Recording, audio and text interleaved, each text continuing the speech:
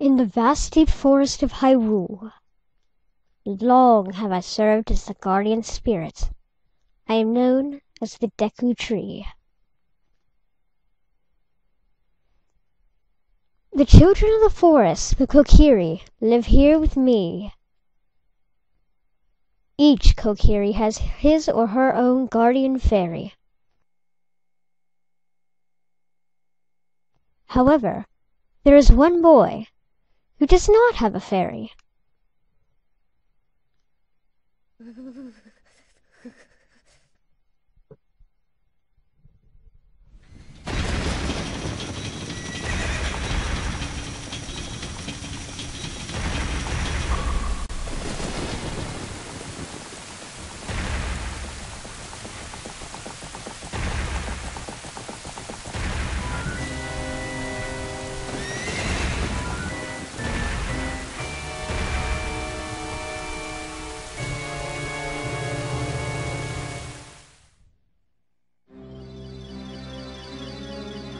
Navi, Navi, where art thou? Come hither. O Navi the fairy, listen to thy words, the words of the Deku Tree. Dost thou sense it? The climate of evil descending upon this realm? Malevolent forces even now are, are mustering to attack our land of Hyrule. For so long the Kokiri Forest, the source of life, has stood as a barrier, deterring outsiders and maintaining the order of the world. But before this tremendous evil power, even my power is as nothing. It seems the time has come for the boy without a fairy to begin his journey. The youth whose destiny it is to lead Hyrule to the path of justice and truth. Navi, go now! Find our young friend and guide him to me. I do not have much time left. Fly, Navi, fly! The fate of the forest, nay, the world depends upon thee. And with that, hello everybody, Lightning Spirit 78 here. Welcome back to more. Away. we're not welcoming you back to anything.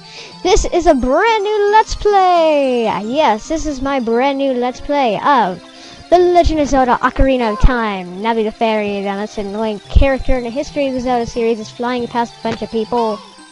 Uh, apparently that guy likes rocks. Anyway, um, so she's looking for something, and comedy. Yeah, she bangs her head right off the fence. I always loved that about that. But anywho, it seems she is searching for somebody. Apparently, this boy without a fairy. He looks quite familiar. Hmm. Now, where have we seen somebody in that kind of outfit before? Hello. Hello, Link, wake up. The great Deku Tree wants to talk to you. Link, get up. Hey, listen, listen, wake up. Hey, listen, wake up. Hey, come on. Yeah, get used to that. You're gonna be hearing it all the time. Can Hyrule's destiny really depend on such a lazy boy? Uh, five more minutes, mommy. Uh, yeah, that joke's probably been done a million times. We're off to a wonderful start. Anyway, so what's up with this fairy? Ah, you finally woke up. I'm Navi the fairy. The great Deku Tree asked me to be a bleh, be your partner from now on. Nice to meet you. The great Deku Tree has summoned you, so let's get going right now. And leave we shall on a brand new adventure throughout Hyrule. Last time in our adventures of Hyrule, we defeated Ganondorf in the Twilight Princess era of these games, and now we are in the Kokiri Forest, and a girl is running. So yeah, basically we've gone back in time, more or less, from the last Let's Play, to see how it all began. Yes, I know Skyward Sword started before this LP, but currently this is believed by many timeline theorists to be where it all began. So, who's this girl with the pretty uh, green hair that apparently a lot of guys in this forest fell for? Anyway, Yahoo! Hi, Link!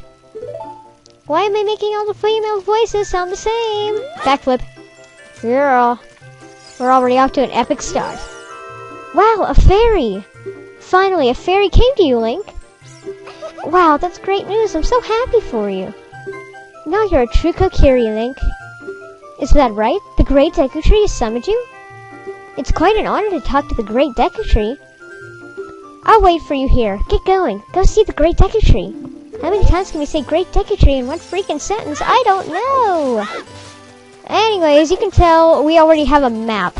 Basically, maps are given to us at the start of the game, much like they were in Twilight Princess, except in dungeons, which is to be expected. Who are you? I have a feeling I'm not gonna, I'm going to, like, hate you at the end of the game.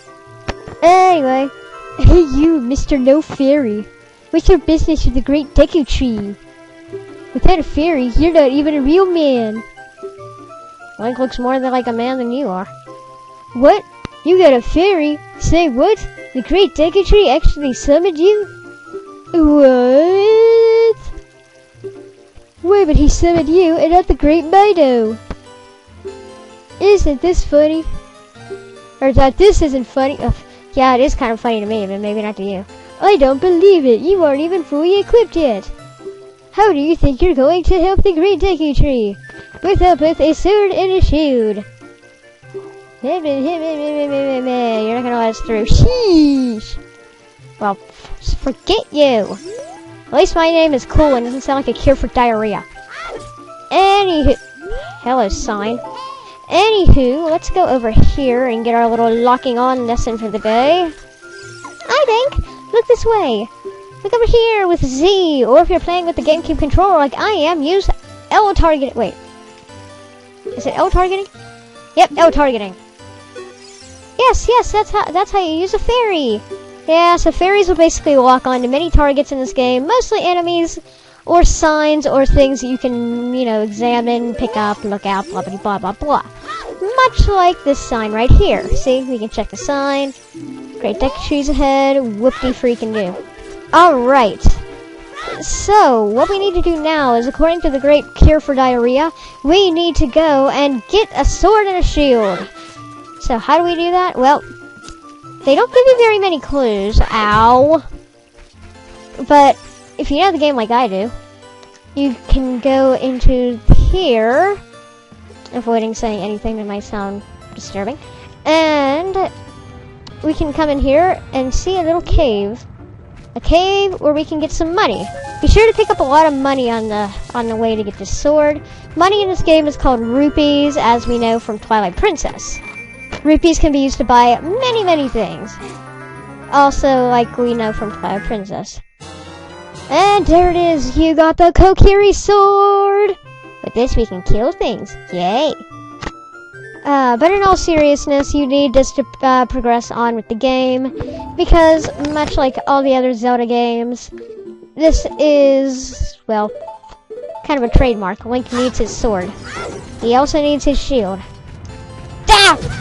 Cocoa Puff! You look like a giant Cocoa Puff. I'm sorry, but it does.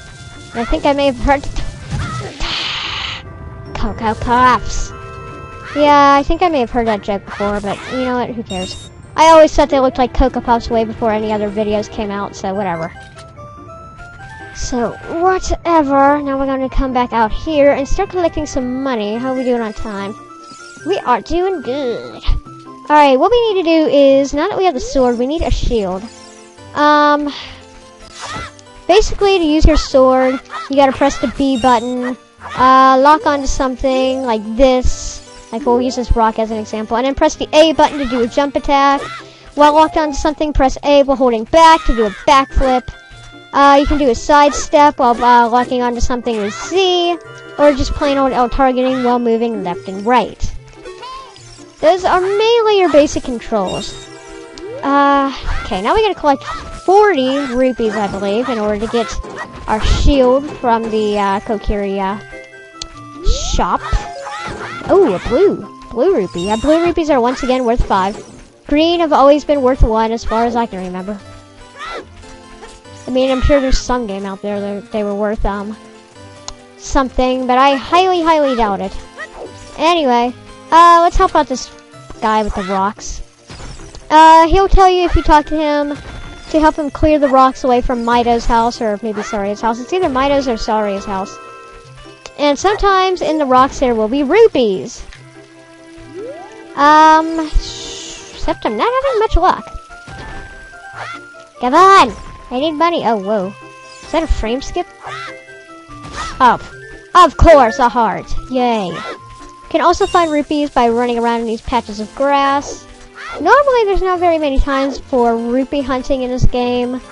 Uh, that's mostly done for you in a couple of side quests, which I will be covering, because I'm going to bring it up right now, because this is going to be a 100% LP. All Scoch... Skulltulas, all, um, items, heart pieces, equips, you know, all the other upgrades, all that stuff. So, uh, this is to be a fun Let's Play, guys. There's going to be plenty of new stuff for you guys to see. Um, that I'm going to talk about right now. Uh, some new features that I have added to this, which you'll see very soon, are menu systems to help you also 100% your game or find items that you may not know how to get.